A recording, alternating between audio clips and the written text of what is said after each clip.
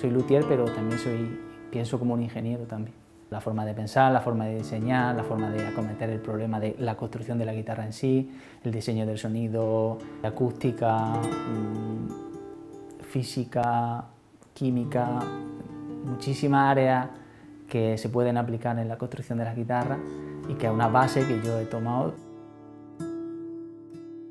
En España no existe una formación reglada para ser luthier, es decir, no existe una carrera de luthier. Esto es una cosa que se traspasa de padre a hijo, de un oficio muy familiar y que se guarda muchísimo, un oficio que durante años ha sido muy, muy, muy hermético. En mi estilo de construcción, que no es el estilo del luthier tradicional, yo hago cada guitarra, una guitarra cada vez.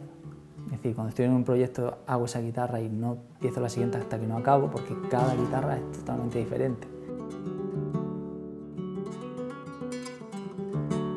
Hacer la guitarra flamenca técnicamente es muy exigente, porque no hay apenas margen, te hablo de 5 milímetros. 5 milímetros es un cachito así.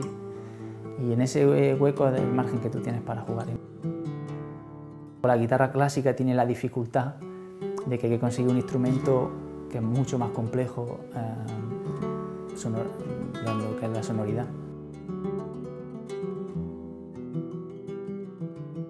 La guitarra está conmigo desde que me levanto hasta que me acuesto, ya sea tocándola, haciéndola, diseñándola, porque no puedo vivir sin la guitarra.